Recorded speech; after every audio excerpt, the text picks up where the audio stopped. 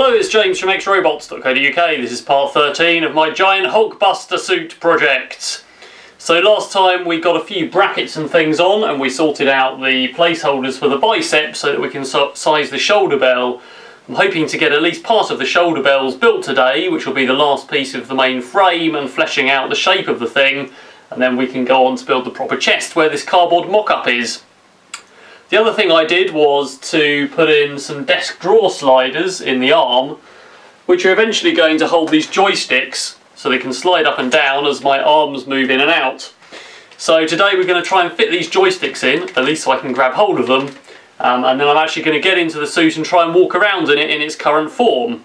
So let's have a closer look at these joysticks. So the original plan was my hand would go into some sort of cuff so I could move the arm around and then the joystick functions were going to activate the motors which drive the elbow joint, the hands and the opening weapon pods. So I've got enough buttons on here for activating weapons and then hands was going to be one of these functions and moving the elbow is going to be the other joystick function.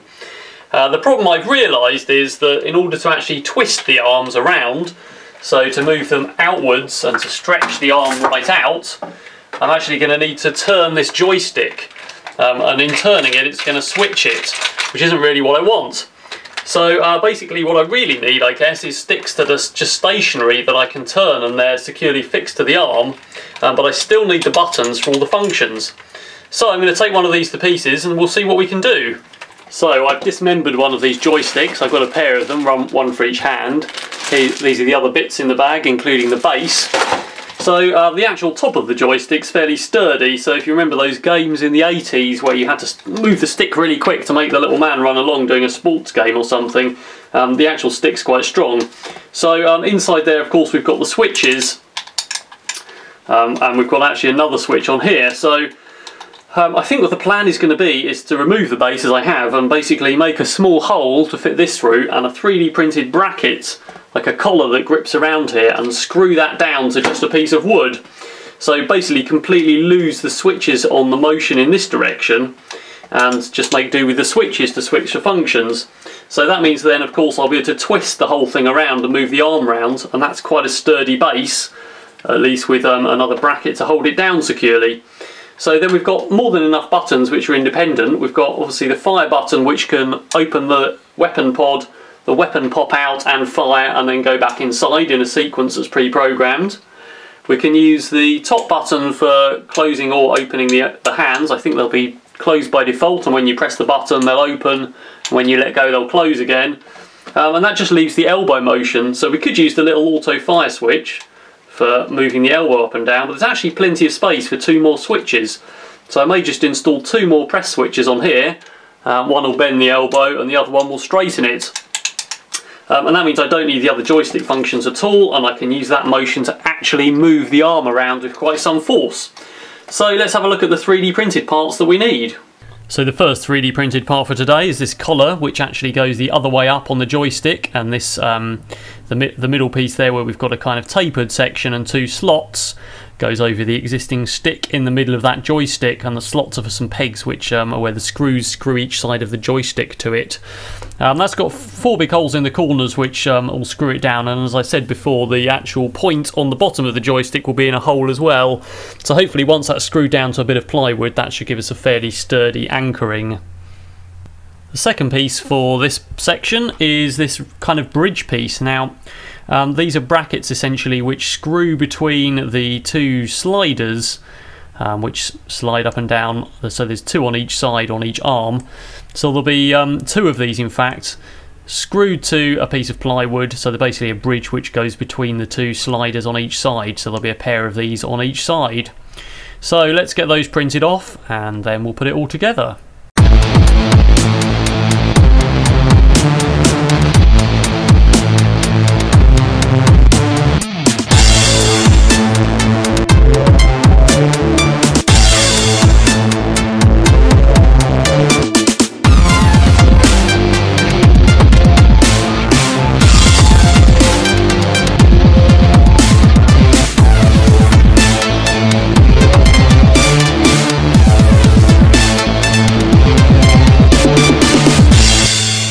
So I've 3D printed my parts, here they are amongst some other mess. So we've got the bridge parts here, which are going to go between the two rollers, so they'll screw on like so, either side.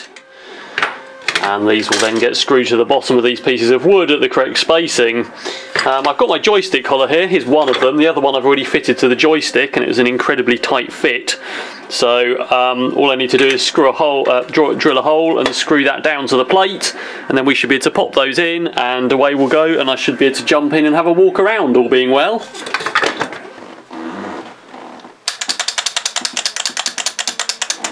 So those are fitted in, so they just need to be slotted into the arms and then I'll be able to move them all around. So those joysticks are fitted on there and they feel extremely firm.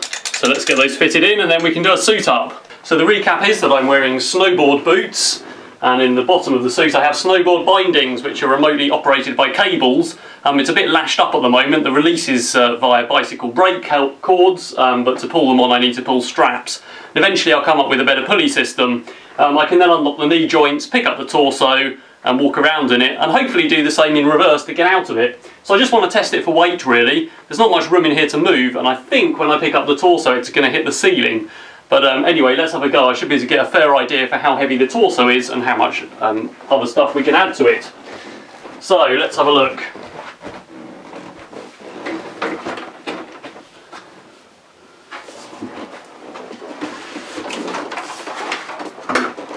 Okay, well that doesn't feel too bad so far. Let's just pull these snowboard bindings shut. Unfortunately the strap's behind me at the moment. Right, there's one, that was easy enough. There's the other one, that was okay. And I just need to unlock these knee joints. Um, eventually I'll have proper levers on the end of these cables. For now I haven't, there's one. And Ah, there's the other one, so yeah, there we go. Whoa, I should probably grab these arms if I get my arms in, ah, there we go. Now I just need to be cautious of the ceiling here, because I will hit it, but uh, yeah, on the whole, this feels okay. I've still got, um, I haven't put the nylon drive belt on my left arm, so it's a bit wobbly, but uh, watching where I'm walking, on the whole, that's feeling alright and I can move the joysticks perfectly well to operate the functions. So now with any luck you know, I'll actually be quite comfortable in that walking around and I can still bring my arms in as well. Hopefully I'll have other control panels inside to operate extra functions. Um, it's really not too bad. There's a lot of padding in the shoulders anyway so uh, that's feeling okay on the whole. Great. Alright now I'm going to try and get out of it. And I've had an issue with one of the knee uh, knee latches. Just getting my feet together at the right spacing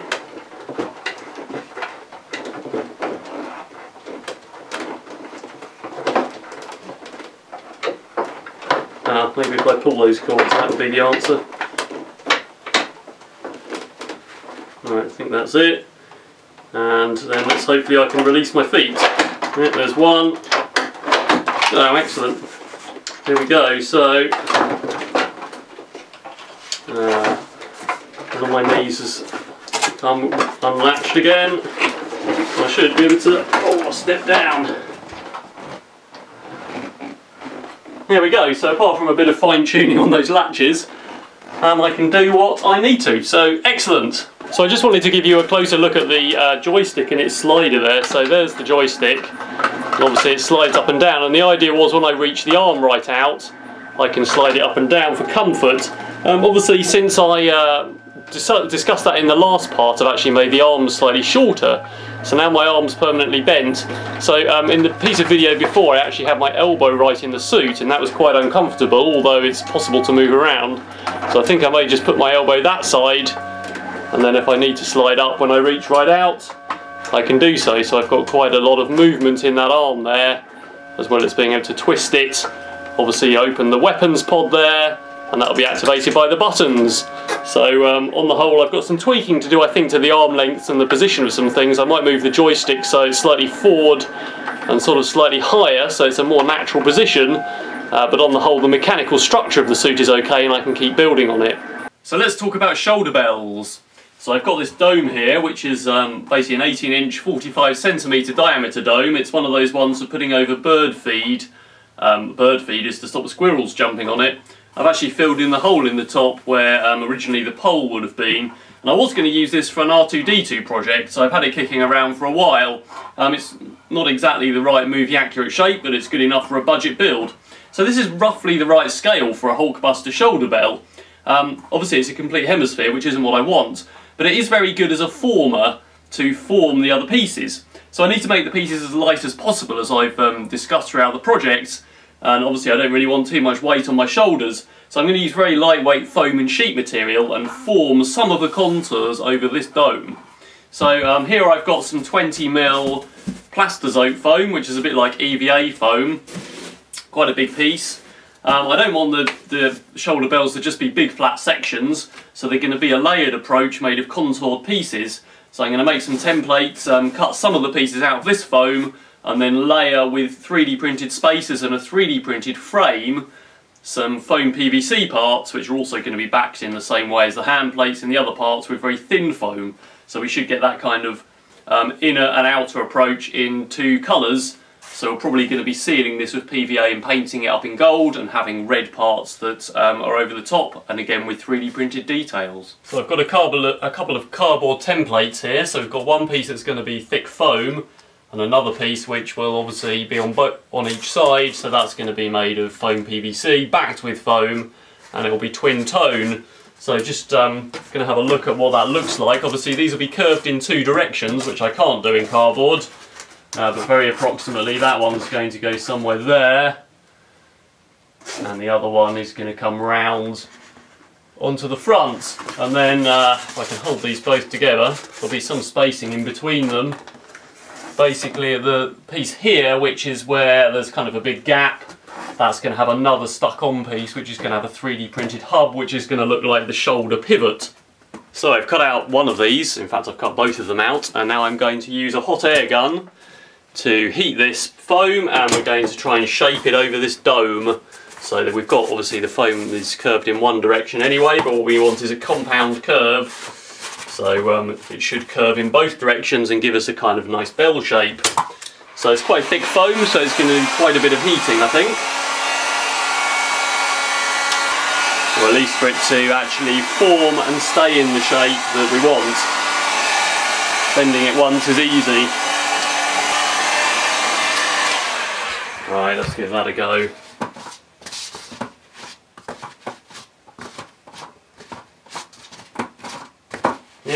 There. So there's the curved one and there's this the one that's only curved in one direction so hopefully you can see there's uh, quite a bit of difference there and that's just the right contour obviously with the other pieces that get stuck on that are going to be curved as well we can bring that whole shoulder bell round to quite a nice curved, pleasing curved shape. So I've just propped those on there. I think they're eventually going to be set a bit lower so they cover more of the bicep. But um, for now I've just propped them on so we can get a feel for what it looks like and I'm pretty happy with the shape and the scale of them. Um, the next piece I've modified slightly so it's got some cutouts where there'll be some features and various bits and pieces and that's going to be fitted just like that. So something like that, and obviously a symmetrical one on the other side. And then we've got, we'll end up with that kind of hex shape in the middle where we can have a feature and some other things. So uh, once that's all together, the end of the original stick that I installed, which you can see there, which is to prop these on, is going to then hold the hub piece, which will be fitted in there. So I think that's going to fit together quite nicely. So I need to cut these out of foam PVC and shape them up. Then we can get sealing and painting.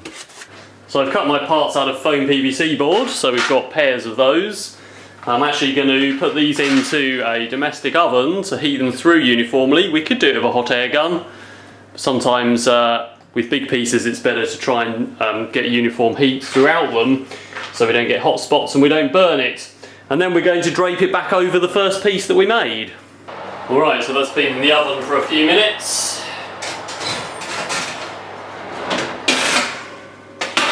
It's pretty hot, but it's not too hot to touch. And we can just drape it over that. and just try and shape that up. Got a little wrinkle in it and the edges have turned up a bit but they're okay to sand and that should probably do it. And it cools off quite quick and goes hard again so that's pretty rigid so we can see how that piece is going to fit. And it's got a nice curve to it so I just need to do the others making sure that I do some upside down so I get the opposite pieces and then we'll be ready to go. Alright, so there's one pair. I've given the edges a bit of a sand in some cases where they wrinkled slightly, but on the whole that's looking pretty good and that's how it's going to be set over the rest of the shoulder bell. So these pieces are going to be painted up as were the other pieces in standard sort of car paints. Just primer, plastic primer and Ford Rosso red, the same as the hand plates. The foam piece there is going to be primed up first in PVA and then I'm going to spray Plasti Dip on it. This is clear Plasti Dip which is an extremely toxic in its liquid form rubber coating, but fine obviously when it's dry. So um, once that's got PVA and Plasti Dip on it, it'll be again primed and painted. So this piece will be gold, and this piece is going to be painted up in red. And I've got some 3D printed details to add and various other pieces. So I was going to try and get the shoulder bells finished in this episode, but I'd actually like to go into much more detail on the sealing and painting.